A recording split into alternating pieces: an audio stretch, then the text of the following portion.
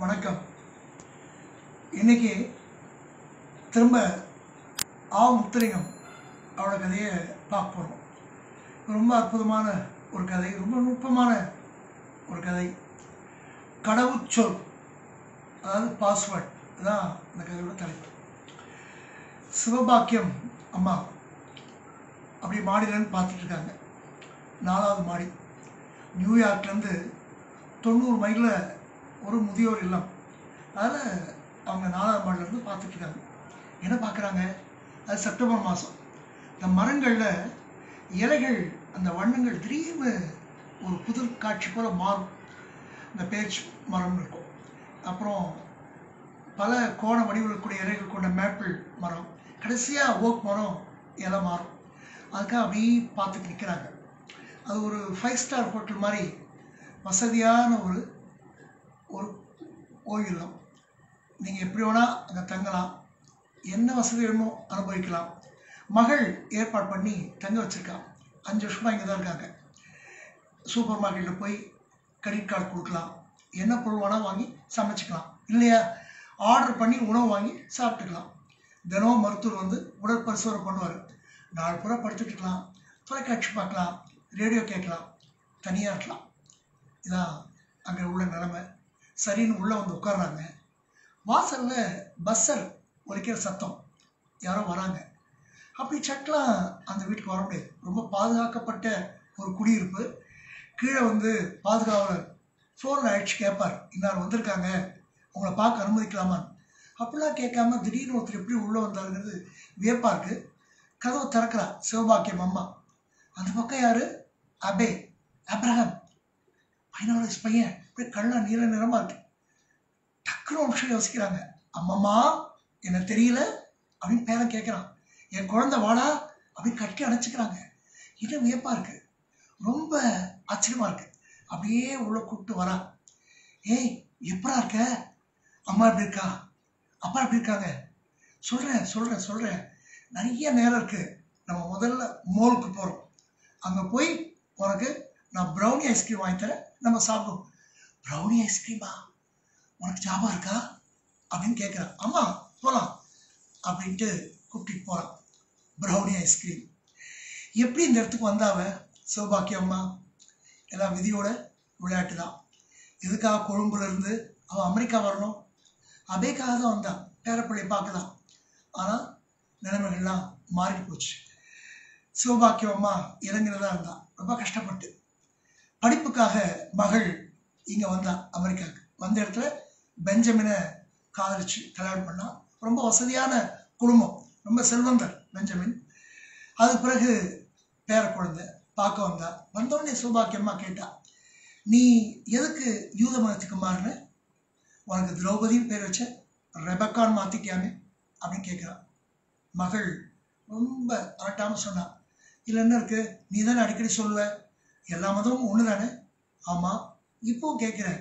எல்லா மதமும் ஒன்று தானே நீ ஏன் மாறணும் அப்படின்னு கேட்டான் அதுக்கு பதில் இல்லை. ஒன்று தான் சொன்னான் நீ முழங்கால் குனிஞ்சு வீடை பெருக்கி ஊர் பூரா சுத்தம் பண்ணி அந்த கஷ்டத்தை என்னால் அனுபவிக்க முடியாது. அந்த வாழ்க்கைக்கு என்னால் போக முடியாது. நீ பேச வேண்டாம் அப்படின்னு சொல்லிட்டேன் இதுக்கு மேலே ஒன்றும் சொல்கிறதுக்கே இல்லை. பையன் பேர குழந்தை பள்ளிக்கூடத்துக்கு போவான் தாதி கூட்டிகிட்டு போவான் கூட்டிகிட்டு வருவான் சாயந்தரம் எப்போ வருவான் அப்படின்னு பார்த்துட்டு இருப்பான் வீட்டில் வேறு யாரும் பேச மாட்டாங்க. இவன் எரிஞ்சு எரிஞ்சு விழுவா மகள். அவளுக்கு பழைய வாழ்க்கை தான். அம்மாவோட கஷ்டங்கள் தான் ஞாபகத்தில் இருக்கு. மூடி வச்ச புஸ்தகம் மாதிரி அவனுடைய முகம் இருக்கும். ஒரே வெளிச்சம் அந்த பேர குழந்தை தான். அவனா வந்தவுடனே அம்மம்மா இன்னைக்கு பள்ளிக்கூடத்து அது நடந்தது இது நடந்ததுன்னு சொல்லிட்டே இருப்பான். பாட்டி தமிழையே கேட்டுட்டு இருப்பான் பேர ஆங்கிலத்திலேயே பதில் சொல்லிட்டு இருப்பான் அன்னைக்கு வந்து அப்படிதான் விளையாடினான். அப்படியே உடம்பு விழா வளைச்சான் இந்த நாற்காலேருந்து அந்த நாற்காலி பட்டுன்னு அடிபட்டு ரத்தம். ஓன்னு அலறிட்டான் அதுக்கப்புறம் எல்லாத்தையும் தொடச்சான் உடனே மகளுக்கு வந்ததே கோவம். ஏன்? இங்கே தான் வேலைக்காரர் இருக்கார்ல?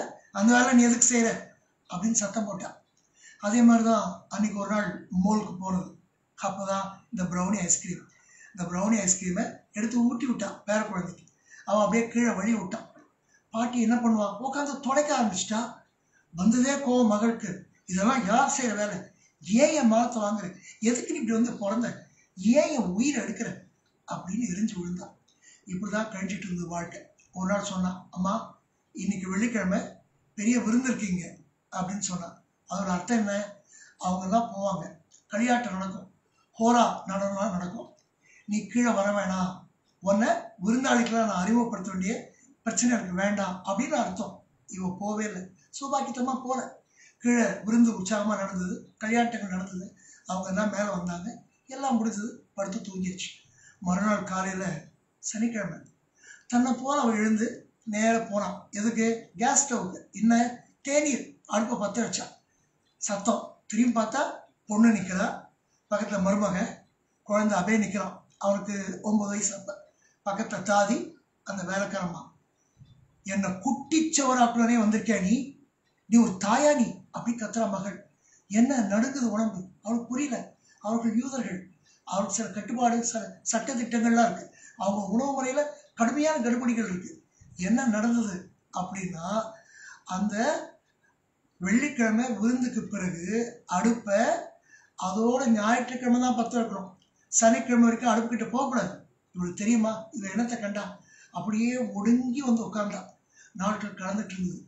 அப்படியே போயிருக்க கூடாதா ஒரு நாள் குழந்தைக்கு ஆசையா ஊட்டிட்டு இருக்கா. நல்ல இடியாப்பம் சொதி ரால் எறா இருக்கு இல்லையா? அது ப்ரான். அதை கொடுத்துட்ருக்கான் குழந்தைக்கு. அவன் வழியை விடுவான். இவன் வாயத்தரன்னு ஊட்டுவான். ம் அப்படின்வான் அவன் குதிப்பான். இன்னும் கொஞ்சம். இன்னும் கொஞ்சம். அப்படின்னு ஆசையாக ஊட்டி விடுவான். ஒரு வாய் ஊட்டி அடுத்த வாய் ஊட்டி மூணு வாய் ஊட்டும் போது எத்தனை கால்களில் எப்படி குதிச்சு வந்தாலோ பெண் மகள் ஓடி வரான். புத்தி கெட்டு போச்சு அவனுக்கு. அறிவு இருக்கா? அப்படின்னு எரிஞ்சு விழுந்தா போதும். இனிமே உன்னால இந்த பட்ட கஷ்டம் எனக்கு போதும். என்னால் உனக்கு சமாளிக்க முடியாது. நீ இனிமேல் இங்கே இருக்க வேண்டாம். இருக்க வேண்டாம் அப்படின்னு சொன்னான். அஞ்சு வருஷம் ஆச்சு. இந்த இடத்துக்கு வந்தாச்சு. இங்கே வந்த பிறகுதான் தெரிஞ்சது. யூதர்கள் இறால் சாப்பிட்றதில்ல. அது மாத்திரம் இல்லை அவங்க கோஷர்னு ஒன்று வச்சிருக்காங்க. அதாவது அனுமதிக்கப்பட்ட உணவுகள். என்ன உணவு? விலங்குகள். எல்லா விலங்குகளையும் சாப்பிட முடியாது. பாலிட்டிகள்லாம் அசைப்போடுற விலங்கு. மாடு மான் இதெல்லாம் சாப்பிடலாம். பன்னி சாப்பிட முடியாது. அது அசை போடாது. அப்போ ஒட்டகம் சாப்பிடலாமா? ஒட்டகம் அசை ஆனால் அதோட காலில் பிளவு கிடையாது. அதை சாப்பிட முடியாது. மீன்களில் செதிலும் சட்டையும் இருக்கணும். ஆனால் நண்டு கணவாய் முக்கியமாக இறால் அனுமதி கிடையாது. அந்த இறாலை தான் ஊட்டினா இங்கே வந்து நிற்கிறா இப்போ பையன் பேர குழந்தை ப்ரௌனி ஐஸ்கிரீம் சாப்பிட கூப்பிட்டான். எல்லாம் முடிஞ்சது. திருப்பி மேலே வந்தாங்க. கதை பேசிட்டு இருந்தாங்க. நான் கிளம்பணும். ஆனால் எனக்கு இறால் பொரியல் வேணும் அப்படின்னு கேட்டான். அப்படியா? வேணாப்பா நான் பட்டதெல்லாம் போதும். இல்லை எனக்கு வேணும் அம்மா நீங்கள் பண்ணுங்கோ அப்படின்னா. சரின்னு அழகா இடியாப்போம் சுதி ரால் எடுத்துகிட்டு வந்து கொடுக்க வந்தா. இல்லை அம்மம்மா அது எங்களுக்கு தடுக்கப்பட்ட உணவு. எனக்கு கொடுக்க வேண்டாம். அப்போ எதுக்குலாம் கேட்ட குழந்தை? உனக்கு நான் ஊட்டணும் அப்படின்னு பிசைஞ்சு பிசைஞ்சு வாயில ஊட்டுறான். பாட்டி போதும். இல்லை பாட்டி இன்னும் கொஞ்சம். பாட்டி போதுங்கிறான் இல்லை பாட்டி இன்னும் கொஞ்சம் இன்னும் கொஞ்சம். சிவபாக்கியத்துக்கு கண்ணெல்லாம் தண்ணி.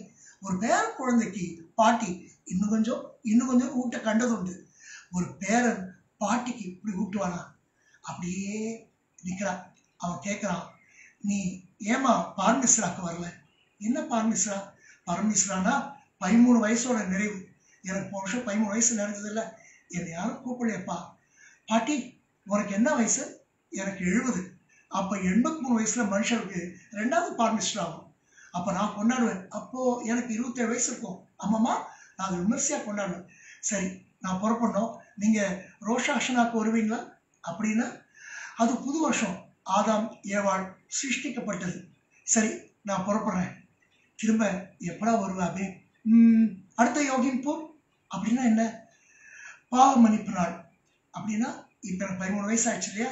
என் பாவங்களுக்கு நானே பொறுப்பு. இப்போ நான் முழு மனுஷன் ஆயிட்டேன் அதுக்காக வந்தேன். நீ அப்படி என்ன பாவம் பண்ணு? அதுக்கு அவன் எந்த பதிலும் சொல்லலை. நீங்க வந்தது அப்பாக்கு தெரியுமா? ம் பாவம் மன்னிப்பு நாள். அவங்களும் போவாங்க.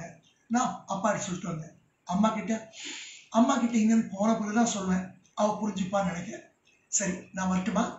நம்ம திரும்ப எப்போ சந்திப்போம்? ம், அடுத்த யோகிப்பூர்ல சந்திப்போம் அம்மம்மா இந்த நாள் நல்லா இருந்தது. நான் வரேன். பாய் அப்படிங்கிறான். எப்போ வந்தான்னு தெரியல. எப்போ இறங்கினான்னு தெரியல. கீழே அவன் கார் புறப்பட்டு போகிறான் அந்த மரங்கள் அந்த பேச்சு மரம் அந்த மேப்பிள் அந்த ஓக் எல்லாத்துக்கும் இடையில புகுந்து புகுந்து அந்த கார் போயிட்டே இருக்கு. திடீர்னு படிச்சுன்னு அந்த இலைகள் எல்லாம் உதிர்ந்து விழுது. புதிய இலைகள் புது வண்ணங்களோட உருவாகுது. அடுத்த யோகிப்பு எப்போ வரும் அப்படின்னு காத்திருக்கான். அப்போ அந்த குழந்தை சொன்னது ஞாபகத்துக்கு வருது. அப்போ கேட்டா என்னை நீ மறக்க மாட்டேல்லன்னு அப்போ அவன் சொன்னான் பாட்டி உன்னை நான் மறக்கவே மாட்டேன். உன் பேரை தான் என்னுடைய கடவுச்சொல்லாக வச்சுருக்கேன். என்னுடைய ஐஃபோன் கதா என்னுடைய நெட்ஃப்ளிக்ஸ் கதா என்னுடைய இமேஜ் எல்லாத்துக்குமே உன்னோட பேரை தான் நான் பாஸ்வேர்டை வச்சுருக்கேன்னு சொன்னான். இந்த எதுவும் அவனுக்கு தெரியாது. ஐஃபோன் தெரியாது நெட்ஃப்ளிக்ஸ் தெரியாது ஒன்றும் தெரியாது. ஆனால் கடவுள் சொல்ல தன்னை ஞாபகம் வச்சிருக்கான்னு தெரியும். அப்படியே உள்ள வர அடுத்த யோகி கொடுத்தாங்க. நன்றி வணக்கம்.